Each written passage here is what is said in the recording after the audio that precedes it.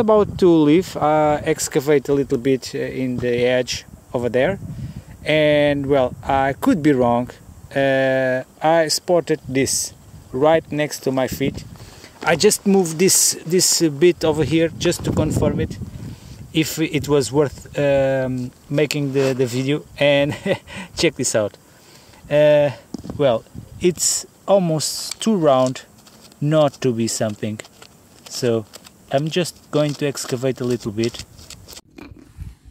So I switch cameras because with the uh, I guess this is not a this is not a fossil so it was way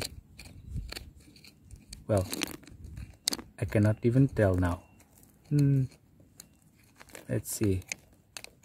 It's far too easy to excavate this. It really is too round not to be something so it's very different from the pattern. Oh. Hmm. I don't want to use the hammer. Let me see. Oh it's quite easy. It's out. So let me see. Oh it's starting to fall apart. Let me see if it is a oh it's a gastropod. It's a gastropod all right.